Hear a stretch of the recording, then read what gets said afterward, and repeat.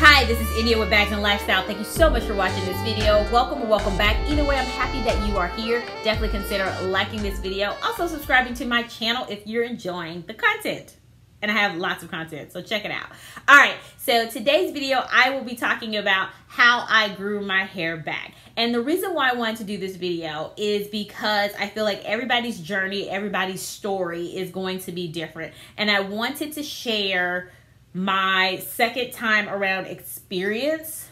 second time around, yes.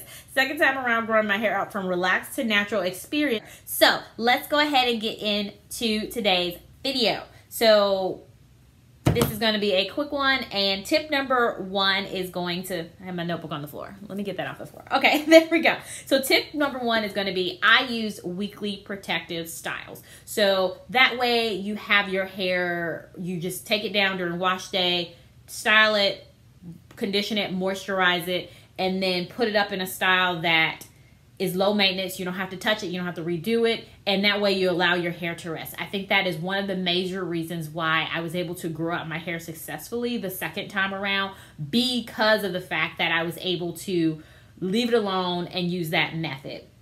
It also helped that I wasn't traveling as much. So it made it easier to just not have to deal with trying to figure out those kind of like work friendly hairstyles, that type of thing when it, it was in its protective style. And that way you could also still go out and about like a normal person. Um, on my wash day, I would use this. I still use this now, which is the pre-poo, and I just applied it to my entire head and let it sit for several hours and would also decondition it. When I would detangle, I would use this also by adding a few drops of oil to it and combing it through my strands to just allow every inch of my hair to be coated with the pre-shampoo. So after that, I would wash it and these are the shampoos. Sorry. I also use the Rue shampoo as well, but I don't have that one with me. No, it was actually the conditioner. It was the Rue conditioner that I would use for a period of time. And then I converted once that one ran out to a different conditioner. But anyway, I started using these hair products here, which, let's see if my, yes, I started using these hair products here, which will feed into another tip that I have later. um, but this is AG, which is a natural hair product, and then also Rucker Roots sulfate free shampoo because I saw the greatest difference with that shampoo after hair, my hairstylist used it on my hair, and so that was that's what sold me, and I started using it. So washing it, moisturizing it, actually conditioning it too is what I did. So the let me just grab the roof so you can see it. Okay, here it is. So this is the, my ring light is too shiny. But basically, it's the Rue Keratin Strengthening. This is the shampoo. I was using the conditioner um, just to show you. So for a while, I was using the conditioner because it had the keratin in it. And I felt like that was helpful as well. So I would use that probably once a month, once every other month uh, to help condition my hair yeah, to help condition my hair. So washing and conditioning. So next up, I took the approach of when I was transitioning, like I said, from relaxed back to or texturized back to natural again was using the moderately aggressive approach with trims. So I was not comfortable doing a big chop.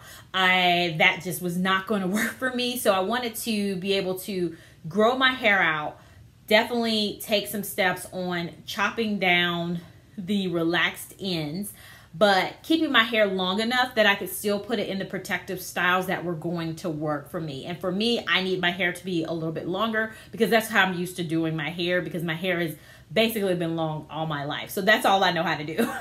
so, um, so that's the approach that I took. So basically, if maybe your normal trim would be like a half an inch or a fourth of an inch or something like that, then maybe taking off an inch, inch and a half to make up for some of the that lost time or to help yeah, make up for some of that lost time, I guess I'd say, by me not doing a big chop. So that's what I would I had started doing as well uh, on a periodic basis to get some a lot of that hair off is what I was about to say unnatural hair, but that was not the right the word uh, to get some of that relaxed hair off a little bit quicker.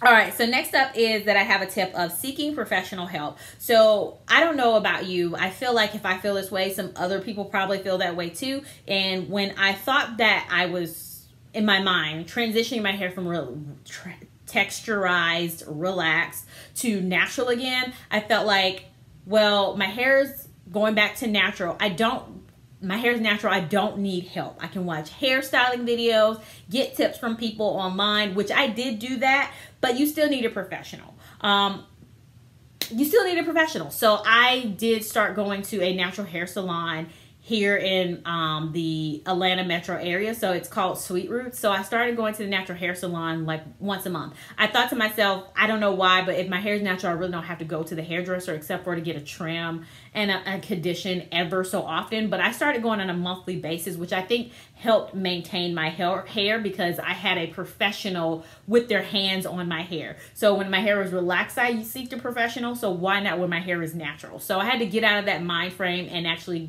make sure that I am keeping my hair maintained and healthy, which is the ultimate goal and most important thing to do is to make sure your hair is healthy. So feeding back into the hair products when I when I saw the greatest difference with the texture of my hair, even in its texturized state, which it was really rough and and not as soft. Uh, I saw a difference with the hair products that my hairstylist used then. So I decided, and that's what sold me on purchasing the same type of hair products.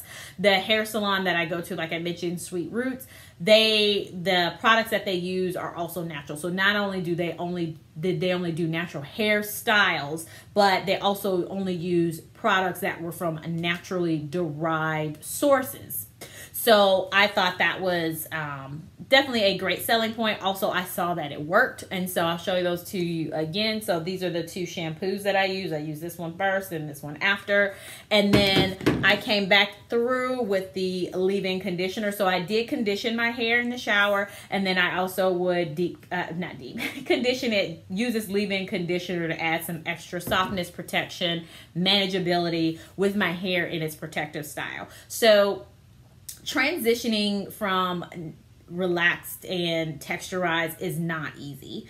And just because you see a lot of people who seem to have success with it, everybody has their varying um, experiences with it because everybody's hair is different, everybody's situation is different, and all of those other things that factor into it. So definitely be patient with yourself, be patient with your journey, and do what's best for your hair to make sure your hair is healthy. That's the ultimate goal is to make sure that your hair is healthy. I feel like that was my kind of goal out of it and so I would point back to that to be so that way before I made a decision, I would evaluate was it the best for my hair and its health. So hopefully this information was helpful. Definitely let me know if you have questions down below and I will talk to you again soon. Bye.